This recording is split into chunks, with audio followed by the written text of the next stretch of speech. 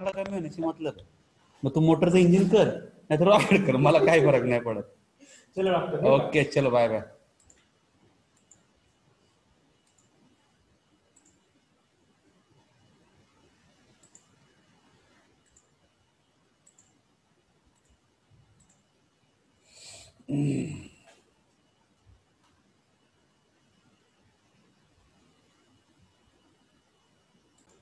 Okay, so we will start our uh, session. Today we are going to start with new uh, unit, unit number four. Till today we have completed uh, unit uh, one, two, and three. Uh, I hope uh, you guys can hear me clearly. If there is any problem, any issues, kindly put that in the chat. I'm keeping close watch uh, watch on chat also. Okay. So we have completed unit one, two, three as per the syllabus of our SPPU. Uh, I, I tried to cover as much as possible and I have taken extra lectures for unit one. Uh, we have taken three extra lectures so, tho- so that you know the concepts are more clear. Uh, so hopefully uh, you know we are on track. Uh, you know we are not uh, you know deviating from the syllabus. So uh, it's, it's a good thing and you know uh, in the same way we will try to cover the uh, remaining uh, half so we have almost you know uh, we are we are through the half of the uh, subject and uh, the remaining half we will try to cover in the remaining sessions. Okay? So today is unit number 4 and that uh, unit is called as power screws. So it is screws but they are power screws. Now why they are called power screws? Let me share my screen with screen with you. These are my notes. So hopefully you are you, all of you uh, should be able to see uh, my notes uh, word document so unit number four power screws. Uh, now uh, why they are called power screws? Uh, they are basically screws. Whatever screw we see every day in everyday life they are the same screw but the functionality uh, you know they do what they do it is different. Okay. So if you see these screw you have seen it in many places. They are like our regular screws only but they have a different functionality. Like if you see this image i have put in a figure that power screw. There i have shown three screws okay one of them i think it's a printer or something. It is uh, uh, you know joined to some uh, what circuitry. And uh, so basically what happens is if you see the first image the motor there is a motor attached motor rotates. And because of the rotation the screw rotates. And on top of the screw is mounted you know some uh, some uh, what you can say uh, assembly is mounted uh, with the rotation it goes to and fro like that so i think same uh, same thing is uh, maybe true for the scanner also. Maybe i think it's a scanner only. So uh, whatever it is but what i'm trying to say is that it is a screw regular screw but it you know transmits motion or transmits torque. Okay? So similarly if you see the second uh, it is something like a, what you can say handle uh, you know maybe c section or something anything like any anything something like that uh, if you rotate it it will basically transmit that uh, torque. Uh, so if you if you're trying to rotate it you are putting forces at the end of uh, you know at the end of it. And because of the force and the distance from the center you will have a torque right? And that torque is transmitted through this screw. So that's why these screws are called power screws. The, last is i think some something like uh, lathe you know where uh, it, the you know the, the your toolbox you know moves to and fro so uh, these are the you know what are some of the applications or you know where we we have seen the power screws. So what are the power screws? But they are the mechanical components you know which which basically transfer transfers uh, torque or you know uh, they you know they they are used in motion. Like our regular screws the functionality what is the difference between regular screws and power screws? Regular sc- screws are used as a fastener okay they are used to join two components okay? So then the joining is like in a temporary. You want you, if required in future you can uh, take it away like a, a wheel right? If, if, if your uh, tire is punctured you, you, you should be able to take uh, away the wheel uh, you remove the take out the puncture and put it back. So something like that like a fan blades of fan. Uh, so like there are so many applications of screw fastener, fasteners but the the purpose of all these screws is to join two things so they are used as a fastener but these power screws they are not used as a fastener but they are used to transmit the motion Okay, so or to transmit the torque. So I hope you are getting the point that power screws purpose of power screws is transfer of the motion or to transfer uh, to transfer the torque. Okay, or the power. That's why they are transferring the power. Torque means power. So they are transferring the power. That's why they are called as power screws. Okay. I hope now the uh, it is clear to you now what why it is called power screws what is the basic difference between power screws and uh, our uh, uh regular screws. Okay, okay. Now we will uh, the you know the introduction is done, so we will start with the first topic that is forms of threads and multiple start screws. Now, what is multiple start screws and what are the forms of? You guys know about both of them uh, a lot uh, because you know we have seen these forms of thread many times. अरे वो गाना ऐकू येते मस्त phone let me just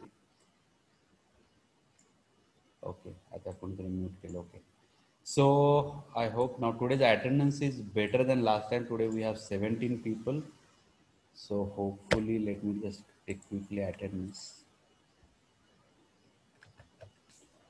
Okay Okay, so where was I? Uh, uh, we, we will have an introduction session today. The first topic is we'll try to cover forms of threads. What are different types of threads which we use for the power screw? There are many different types of threads, but for power screw, which are the uh, threads of uh, forms of the threads we use, and what are the multiple start screws? Okay, so we will see these two uh, in today's session. Now, so first thing is we'll see what are different types of threads. And also uh, yeah one more thing. Important thing is that we are going to go through the nomenclature. Uh, you have seen it in many uh, in a tom or you know your basic mechanics or i don't know. But i will take a revision of that. Like what is the nomenclature uh, which we use in in case of uh, screw? Okay. So uh, power screws basically you know they are mainly they are classified as per the geometry of their thread yes so depending on the you know, how what are the you know, shape of the thread, uh, your uh, power screws are classified. So if you see here, there are called acme, then acme stub. Stub is height is little less. Uh, acme, uh, then square and buttress thread. So these are the important uh, three threads. Uh, what are the acme threads? Uh, so you know, we'll see now what is acme thread. You know, how to how acme threads are different than square threads what are the buttress thread? So first thing is now acme threads. If you see square thread has square shape. Okay, acme thread is you know have some angle. They are not at 90 degrees, right? They have some angle. That angle is 29 degrees. And buttress threads is almost like one side is uh, 90 degrees, almost 90 degrees. It is actually 7 degrees, but it is almost perpendicular. And other has a 45 degree angle. So if you see that now this 45 degree angle, that means it is a combination of one side it is like a square thread, other side it is like acme thread.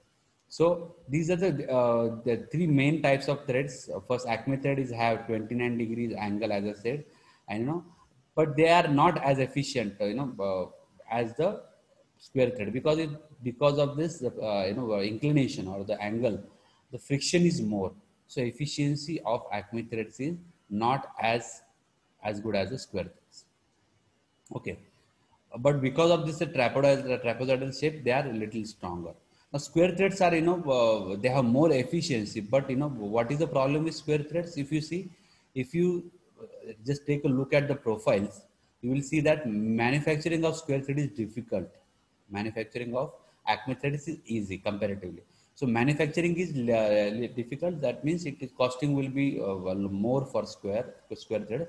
But the good part is that the efficiency of square thread is uh, is, uh, is, is better than other threads, and it is the angle of you know the zero degree uh, thread angle.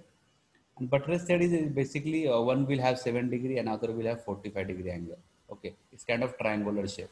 Okay, so I hope now if you see the these diagrams, it is clear now what what are acme threads acme thread both both sides uh, of the profile will have 29 degrees angle right uh, in square thread the angle is uh, 90 degrees and in uh, buttress thread the angle is 45 degrees and on the one side it is 7 degrees okay so these are the main three uh, types of uh, threads or forms of threads which we we use in power screw okay and now what is multiple uh, multiple thread, right? Or what is a single thread or double thread? We'll see that also now.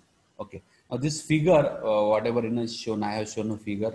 It shows you basically uh, what are uh, single thread and what is double thread. If you see, there is no difference pitch wise. Uh, uh, lead is the same for both of them, but pitch is different. Different pitches. Now, what is pitch? What is lead? We'll talk about that in the next what is not in the next few minutes. But when we have you know uh, see one thread is uh, shown in the on the first single thread uh, or the uh, what you can say first diagram you will say that uh, single thread is shown and same thread but it is now offset by what you can say 180 degrees or half of the pitch. We have a similar kind of threading. So that time your screw will be you know it will start entering. It will have two entry points so what is the uh, you know uh, why we have multiple start thread because uh, when the, when we put the screw in like we combine nut and bolt that time the entry point or from where it's, it will start going in that will now he, it will have two entry points. Okay. Again i have shown it in a here also in the, in the bottom diagram also. Here if you see now this same diagram is there but it is now in a kind of 3d uh, kind of thing it's single thread if you see the see the angle is little less uh, angle is uh, you know is, uh, quite less right there it is if you see the dotted line the pitch is equal to lead uh, okay, now what is pitch? Pitch between two consecutive threads. And what is lead oh, after complete one rotation, how much it moves. Okay, uh, we'll talk about that. But I, for the clarification of uh, single start and multi-start threads, we need to know that. So pitch is between two consecutive threads, what is the distance? And lead is in one rotation, how much it, you know, for by what distance the your screw moves. That is your lead. So if you see for a single start, lead and pitch are same, right? Because uh, the one rotation, it will go by distance of distance between two uh, threads, right? So that time lead and pitch is same. But for double start, now pitch is between two consecutive. It is half of the whatever the distance it will move in one rotation. So your lead is half of your pitch, right? Similarly for triple start, that means you will have three start, three start, uh, what do you call it, entry point that time your lead is three times of the pitch okay so i hope uh, it is clear to you guys now what is uh, multiple what you can say multiple uh, start screws so basically they have multiple start means single set double threaded uh, or you know triple depending on that it will have the, those many start or entry points you know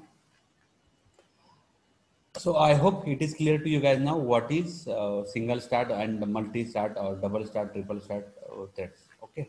Uh, any doubt, anything, uh, uh, any clarification you guys want, you can ask me. Okay. Otherwise, I will continue with the nomenclature. So you guys know about all this. Okay. So we'll see now what is, is this, you know, what you can say, what is the major or important things we should know about the nomenclature. And we'll see the example of also uh, I think the, the, example is also taken. Talk that about that also. okay, and then we will start with the power screws. Okay, but before that, let's uh, talk about what is the terminology and what are the standards. Okay, now if you see the same uh, thread um, or it, it, was shown in a square thread here, uh, Acme threads were shown. But if you see the nomenclature here, if you see what is see there are three diagrams i have. In one diagram i have put uh, it's a uh, handwritten what is the lead and what is the pitch. Now if you see the first diagram handwritten diagram okay if you see the p is half of l. Now we talked about what is pitch. It is a distance between two consecutive threads. Or if you see the definition parallel to your axis of the screw two corresponding point on adjacent threads so if you take the peak, the distance between two uh, peak, what is that distance? We'll talk about. Or uh, if it is like say crest or root, whatever point you take, the distance between two consecutive points between two threads parallel to the axis. So like this is the axis dotted line, right? So parallel to axis distance between two consecutive points is called as pitch, right?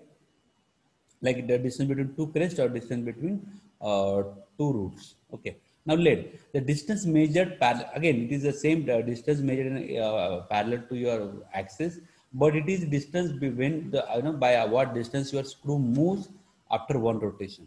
So it is a single thread screw, then after one rotation, now see, let me just open the diagram. If you see this diagram.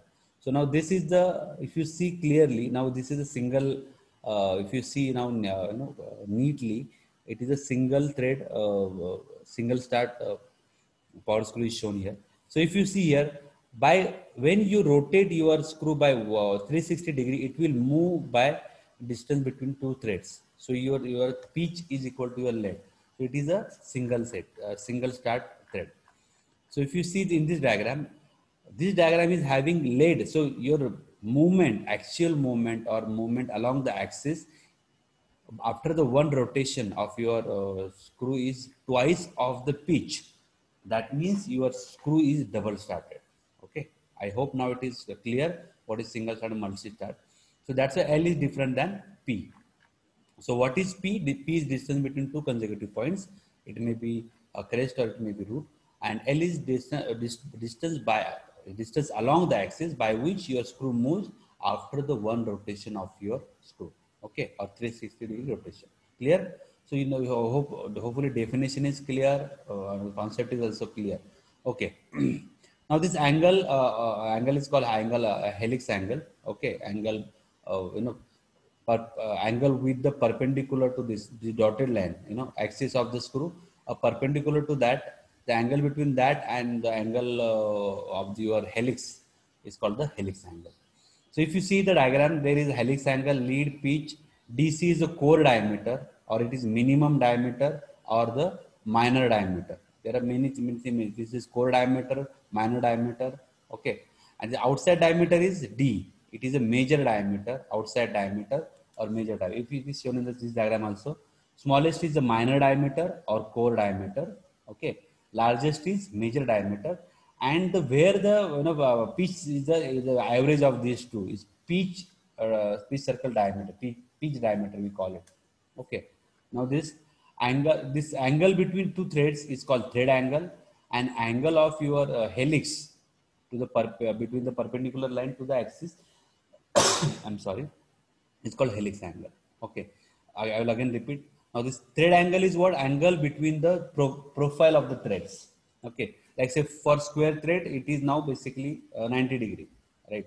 Uh, here and helix angle is zero. So helix angle is the angle of your helix with the perpendicular uh, to this your so for square thread this angle becomes zero okay now in the diagram pitch is shown uh, root is shown crest is shown so similarly uh, one more diagram is there this is actual uh, photo of a screw is taken just to you know have a better feel Smaller diameter is core diameter or minor diameter largest is major or major diameter p circle diameter then root is shown uh, your angle of the what you can say thread angle is shown. Helix angle is, uh, is not shown here, uh, flank angle.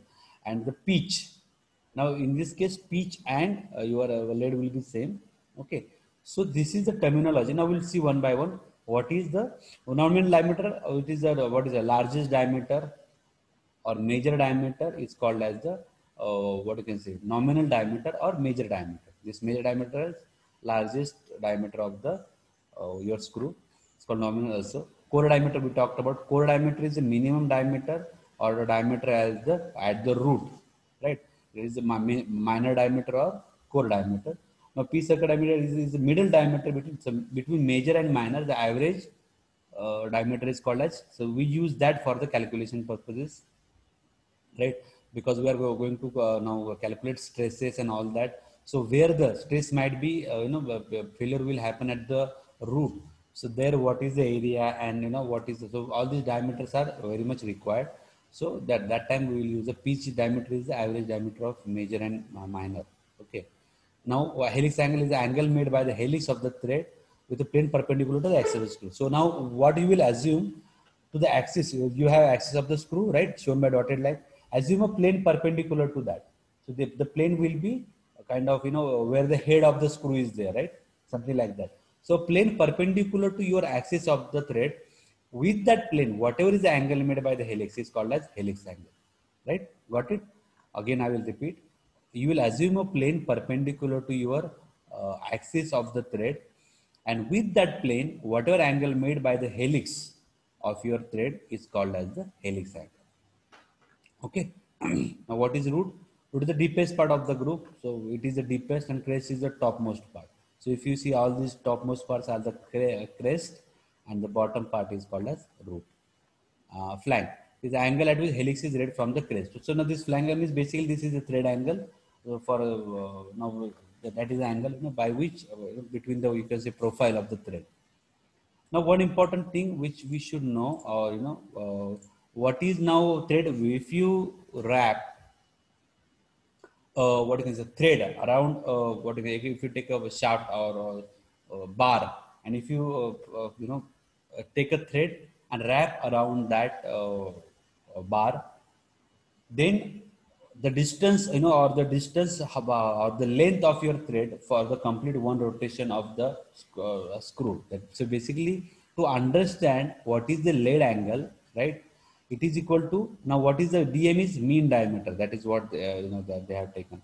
So if if l is the lead l, lead means what? How much it rotates. So if you see this triangle now L is the lead, how much it will move along the axis with one rotation of the, so basically now we are trying to understand uh, what is the piece, you know, mean diameter or the pitch diameter, how we use it for the calculation of the lead and all that. Okay. Now, if we know the helix angle, we can calculate the lead or if we know the uh, lead, then we can calculate the helix angle uh, depending on the, you know, if we know this uh, diameter and all that. So what is the helix angle? See if helix angle is the angle made by your uh, screw profile uh, with the uh, with the plane perpendicular to your axis, right? So that angle is helix angle. L is uh, distance moved, uh, your screw moves when it rotates by one uh, 360 degrees or one complete rotation. So after one rotation, it will move by distance L. And that time your pi d m will be your circumference of your screw. So if you uh, rotate your screw by pi d m circumference, it will go ahead with the distance L and the angle of the between these two is, is called as lead angle. Okay. So I hopefully I you know uh, we will see the implication or how to use these in solving the problems. You know the, the mean diameter or the pitch circle diameter. How to uh, use the those in calculation. Uh, or solving the problem, how to use the lead. So because you know we, we, will be given given lead and angle and all, and we have to calculate the other stuff. So all the all those we'll see in a, uh, in the lecture uh, when we take the numerical. Okay. So this is I think basic cause and, and now so this again I have shown you one uh, example you know of the basic profile of you know external thread is shown. If you see now this is a kind of acme kind of thread. It's, a, it's just kind of just to understand what is root, what is major diameter, See, see root is the bottommost part. Okay, that is the minimum diameter. You know, it will be shown by it is dr. Uh, it is sometimes it is a major diameter is shown by d without r. R means root.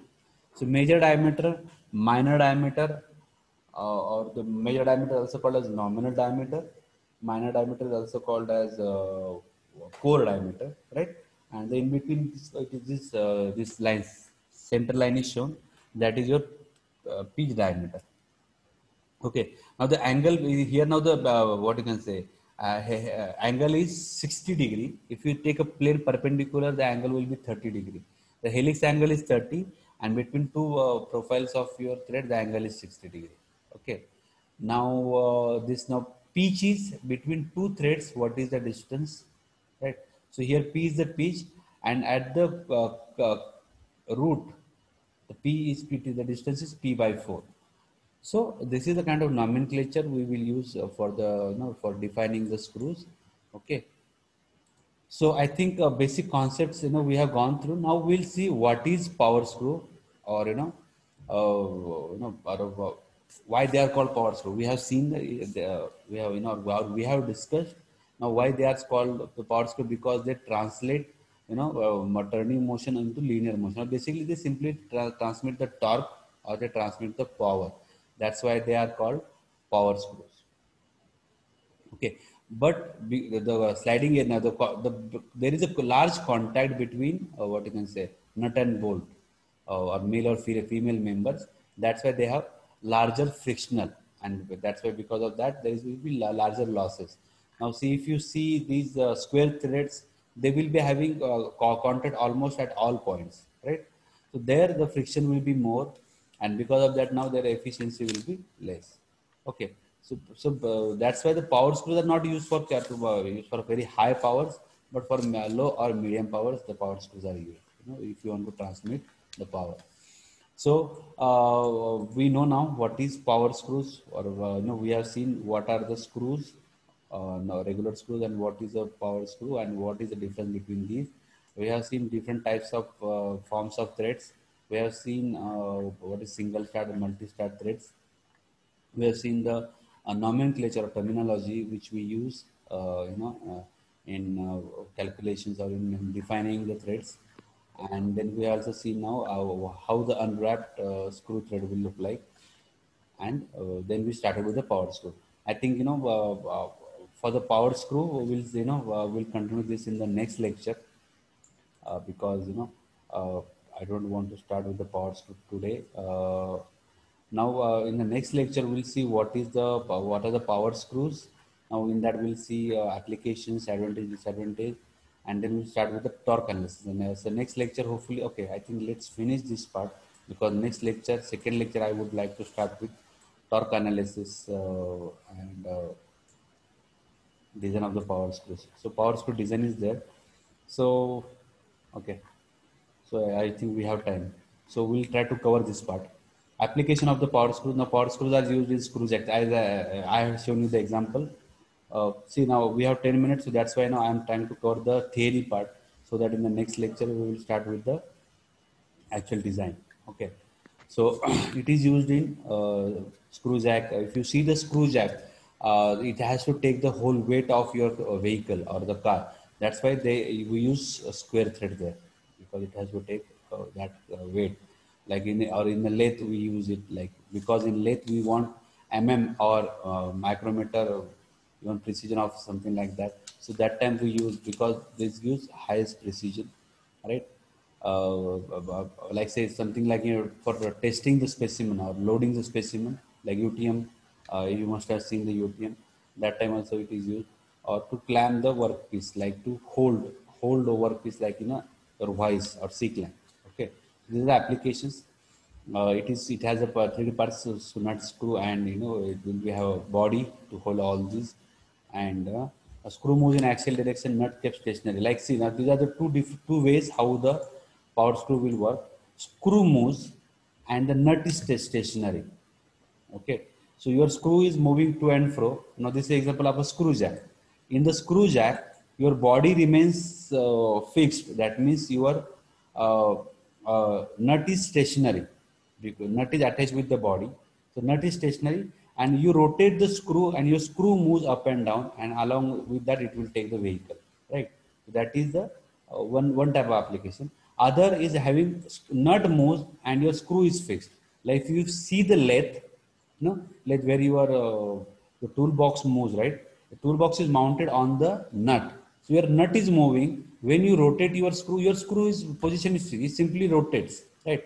When you rotate it uh, because of the rotation your uh, uh, nut moves and on the nut is mounted your toolbox right? So it will move along along with that. So these are this is the two ways we can use the power screw. In one one case uh, like the take example of uh, your screw jack your screw is fixed nut is fixed and screw moves like the example of screw jack and like lathe lathe screw your uh, screw is fixed and your nut moves. Okay. Now advantages there because we talked about it, they have large carrying capacity because friction is more. Now they have something called self-locking. It's a separate. Uh, we'll uh, we'll spend one hour on that to understand what is self-locking and why it is important. Because it is example very important in screw jack because it should not come down. Once you you know load your vehicle on a screw jack, it should not come down so that's concept called self-locking We'll talk about that. It is cheap and reliable, noiseless, is a noise is very less, accuracy is more. Okay, maintenance is not there, design is simple. So all these are advantages. If uh, disadvantage is if as i talked uh, because the efficiency uh, friction is there high friction is there efficiency is poor right? So uh, that is one important very important disadvantage that efficiency of your power screws is less because of the friction. And when the friction is there obviously wear will be there. So wear is another disadvantage of power screws. Okay. Now we'll see uh, what you can say applications uh, of the power screw uh, application of the power screw we have seen when high uh, efficiency low you know, depending on the uh, application high efficiency low efficiency we will have different power screws right? So uh, and we have seen that also. Now types of the threads we talked about this also. We talked about the square threads trapezoidal the way we, we haven't talked about but i have shown you the uh, diagram of that. Acme buttress square thread is 90 degree acme is having 29 degrees buttress 45 degree angle. So we have seen these threads we have seen the application. So i think we have basically almost covered all the basic conceptual part which is required for the designing of the threads. Okay so i think that is all for today's lecture. Uh, i think you know i don't have anything else to add for today's lecture. And maybe next lecture we'll start with the torque analysis how to find out the torque and you know how to calculate the uh, or how to do the design of a power screw okay. So any doubt you guys have you can ask me now because uh, I am done with my conceptual part. Uh, today we have also started with the second topic or second topic what power screws and design of power screws and we have gone through the basic concept of the screws. Okay. So any doubt any guys uh, you guys have you can ask me in the chat or you can unmute yourself and ask me otherwise uh, we'll conclude today's session today we we have started with unit number four power screws we have gone through what is power screw what is difference between regular screws and power screws different types of uh, forms or threads, multi-start, uh, single start, multi-start threads, and terminology of power screw. And then we started with the uh, power screws. What are the power screw applications, different parts, uh, different advantage, advantages, disadvantages, and uh, application. Uh, mean, mean two types of application. Okay. So we have gone through that today. Okay. And next lecture we will start with the actual design of the power screws.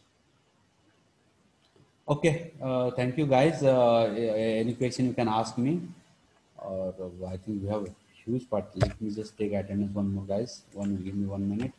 I'm taking a screenshot of attendance because you know. Okay, uh, so you guys can leave if you want uh, because I have taken the attendance and uh, also any doubt if there is no no doubt is there then we can call this as a session. Okay thank you guys